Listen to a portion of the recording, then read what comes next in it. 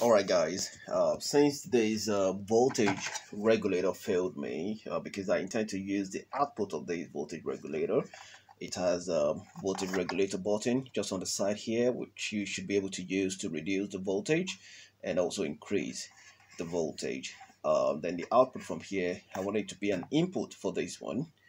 Um, then I can regulate the voltage and see if the stabilizer is going to help to stabilize the voltage to 220 because it says here that it will regulate any or stabilize any voltage in between uh, 130 volt and uh, 270 volt and it will bring it up to 220 volt plus or minus 10% of it.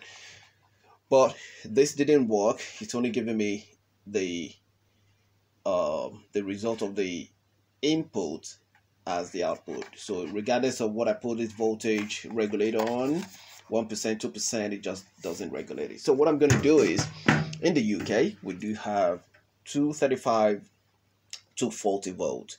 That's what is coming through. And I'm going to use that, put it as an input for this one and see if it's going to regulate it to 220. And uh, I'm just going to give it a, a small test and see what is going to happen uh, just before I send it to the deployment ground or, or to the property that I'm intending to use it. And um, let's get started. I'm going to open this up. There are three bolting, uh, three screws here, three screws on the other side here as well.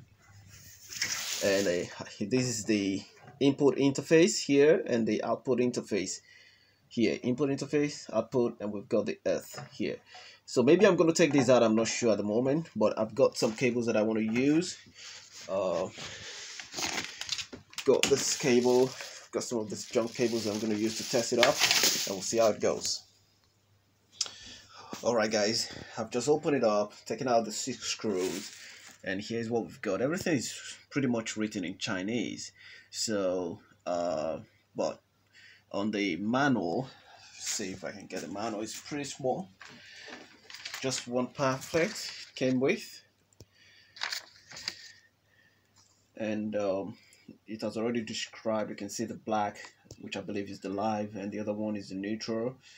And um, that's the input and you can see the input is towards the left so so I believe this is it and the output will be uh, input to the left and the output will be to the right. This one they use the original symbol which is um, the F so I'm gonna get started plug in the cables and we're gonna give it a test Alright guys, I've managed to connect a particular plug to this one. Now if you're buying this, one thing I just want you to be aware of is, that is when you're trying to connect the input, uh, I believe this is the live and this is um, the neutral. So the best way you can do this is just to screenshot this and do Google Translate to translate it to understand what they're talking about here. Now, now one thing I want to point out from here is this. Uh, the way they've done it inside here, I'm not sure if the camera can capture it. it, is pretty, um, there's a very small uh, terminal in there that if you just put a cable in and you're trying to screw it down, it's not going to work. So you really need to bend down and take a look at it. Once you unscrew it uh, from here, um, then it's going to open up a particular hole and through that hole is where you need to pull the cable and then screw it back. Then it's going to hold. If not you may just be pushing the the the cable in and it's just going to be going straight to the back of the and it's not going to hold down. So you need to bend down and take a look at it um in carefully before you slot in the cable that you want to plug in either as input or output i believe the whole thing will be the same thing Alright guys, um, I've managed to connect the wires and I've got this socket also connected here. Now, how did I come to this conclusion? I had to go through the, the manual. Yeah, there are several things written in here and I just had to use Google Translate because I can't read Chinese so or Chinese language. Um, so I use Google Translate and from what I understood is that this is going to be the live this is going to be uh, the neutral and this is going to be the earth and this is going to be the neutral and then this is going to be the live. That's the way i understood it. Now i don't know what's going to happen here. I'm going to give it a try. I'm hoping to see the power light on this socket to come up. If it doesn't then that means there's something wrong somewhere. Uh, but i'm not connecting it directly to any appliances apart from the socket. So let's give it a try. Uh, this is my plug for the input. We'll see if it's gonna work. So let's do this. Now i'm just about to plug it in here and let's see what happens on the side. Okay it came up and uh, we've got 229 volt. Now from the manual now I'm using my other phone to do the translation. So here's my other phone and here's what it says. Now uh how to use I'm not sure if anybody can see it um, let me try to do the focus. See if it's gonna be clearer here. So I think the light is bringing up. Alright it says how to use. Um, after connecting it pull down the air switch on the right and push the air switch on the far left up. So I'm gonna give that a try so it's talking about this one. So I'm gonna push this up. Okay, got some response here. And uh, as you can see, it's regulating the power. So we've got 233. Let me focus this properly. We've got 233, 231 roughly.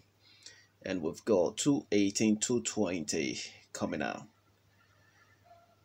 and usually to have like eight seconds delay and you can see this came up. Now I don't understand this text so I don't know what's happening here at the moment. So I'm just gonna gonna do Google Translate again to understand. Now I don't know why this is fluctuating between 218 and 220 I would have expected it to be stable.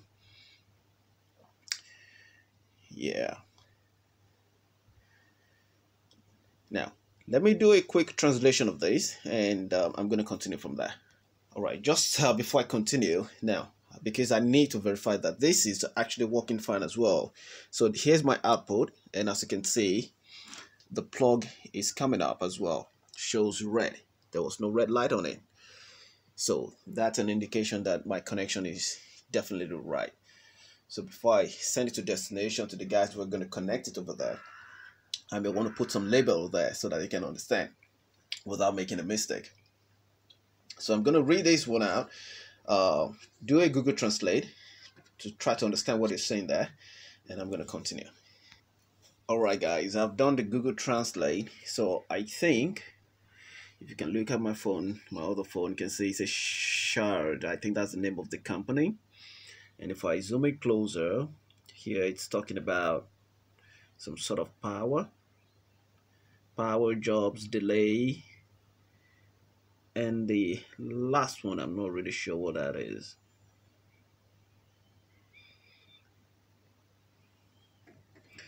I'm just gonna pick this up to see if I can see it directly.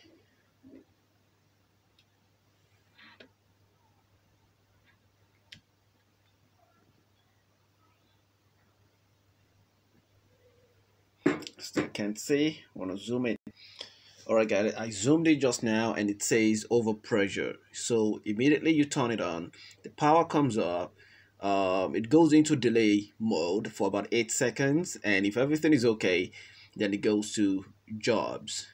Now as you can see microcomputer automatic ac power power supply and all the things yeah, refrigerators air conditioners home appliances as it works. So um, you can hear a bit of humming sound, which is something you would expect of something transformer like.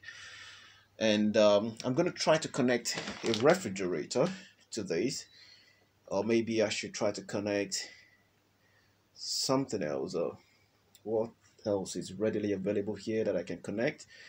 Uh, I think it's going to be the refrigerator. So I'm going to try this refrigerator, uh, the this um, freezer, this deep freezer. Let's see how it goes. Alright guys, so I've got the uh, plug for the freezer. I'm gonna shock it into of this. Here's what happened.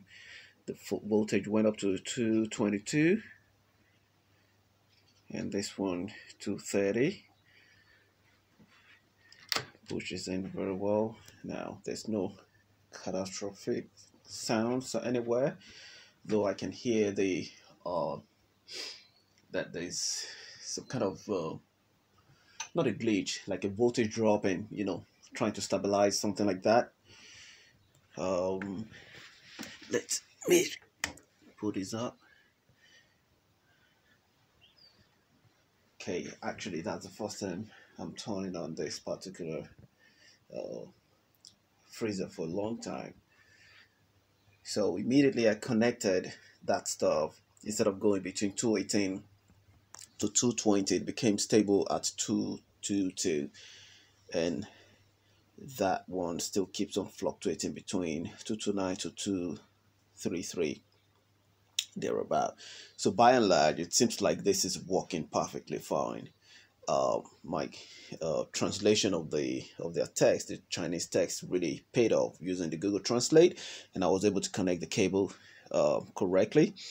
And once um, now the compressor for the freezer just kicked in and um, everything is still working perfectly fine. So i'm really happy for this. I hope it's going to serve well by the time i have the uh, submersible water pump turned on the fridge freezers uh, three big fridge freezers turned on on the same um, equipment and um, another pressure pump and um, the electric oven the microwave and when all these equipment kicks in at one time i hope this will be able to handle them. So uh guys thank you very much. Um at the moment i'm satisfied with what i've got and i'm hoping by the time i start uh, i deployed it completely in the property that is going to it somewhere in africa i hope it's going to withstand the uh, the load and the pressure. Thank you. Cheers. Bye